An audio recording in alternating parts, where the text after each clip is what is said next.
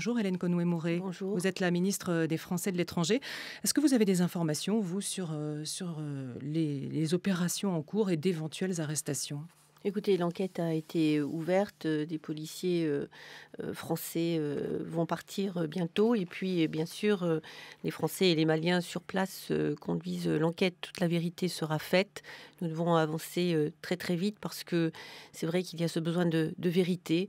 le choc n'a pas simplement touché les familles et ceux qui connaissaient ces deux journalistes et l'ensemble de la profession, mais, mais aussi l'ensemble de, de nos Français. Je reçois énormément de, témoignages, euh, de solidarité, de sympathie de la part de ces Français établis hors de France qui comptent sur RFI, euh, euh, pour qui RFI est la station de radio qui leur donne une information fiable et, crédible. Bien sûr, RFI qui est une radio essentielle pour ceux qui sont notamment en Afrique.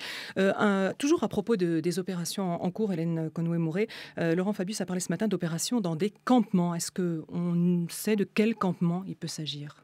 Non, écoutez, l'enquête est en cours et je crois qu'il faut faire euh, très très attention, surtout de ne pas spéculer quant à euh, ce qui pourrait être coupable, parce que on va euh, citer certaines personnes et en fait, je crois qu'il faut attendre que l'enquête aboutisse. Je pense que ça va aller très très vite. Il ne faut surtout pas spéculer. Je crois que le, moment n'est pas cela. Je crois que le moment est toujours au recueillement et de penser très très fort aux familles et aux proches de ces deux journalistes?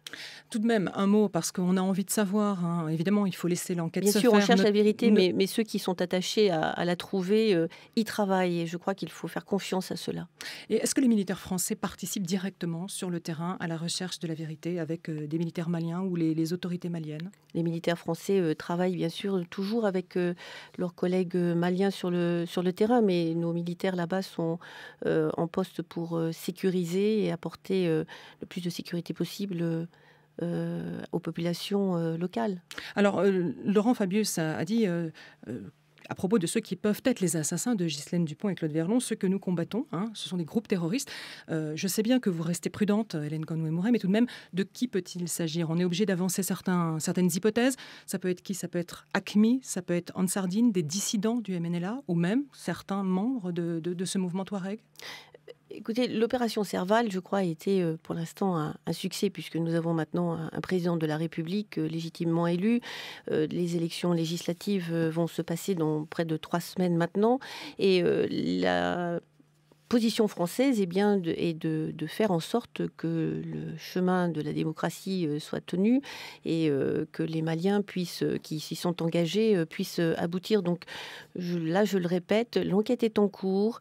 Ne spéculons pas. Je crois qu'il est très dangereux de, pointer le, doigt vers des gens qui sont innocents. Les coupables seront arrêtés, je l'espère très prochainement. Et à ce moment-là, la vérité sera faite et tout le monde en sera très heureux. Et est-ce qu'on peut voir éventuellement un lien avec cette libération qui a eu lieu la semaine dernière des, ex-otages euh, d'Arlit?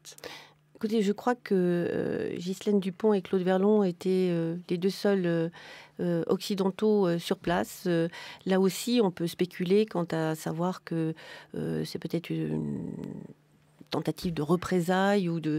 Ils étaient peut-être tout simplement là. Euh, en amont de, finalement de, la ligne de front, c'est-à-dire euh, deux occidentaux qui font leur métier de journalistes, qui travaillent au plus proche du terrain et qui malheureusement sont peut-être euh, tombés entre les mains en effet de terroristes. Je crois que c'est c'est ce que voulait dire euh, euh, le ministre euh, Laurent Fabius, à savoir que nous sommes allés au Mali pour combattre le terrorisme. Et donc aujourd'hui, nous savons que malheureusement, il y a un regain d'activité de ces groupes qui sont toujours présents. Et c'est cela que nous continuons à combattre. Et c'est pour ça que les troupes françaises sont toujours présentes au Nord Mali. Et qu'il va falloir renforcer l'opération en cours?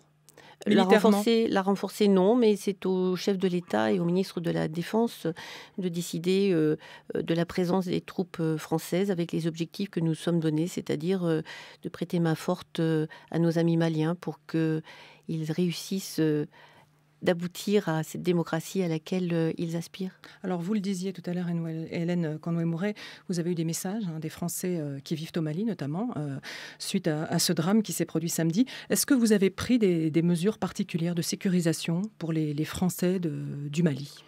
Oui, ces mesures ont été euh, renforcées. Nous les avons déjà en place. Nous avons des dispositifs euh, de sécurisation à la fois de nos installations, euh, mais aussi vis-à-vis de nos ressortissants français qui reçoivent des consignes de sécurité sur leur téléphone portable par SMS ou par, par email. Y compris à Bamako Y compris à Bamako, bien sûr, mais les journalistes de guerre sont ceux qui vont au-delà de ce que nous pouvons sécuriser et qui prennent des risques, bien sûr, qui les assument.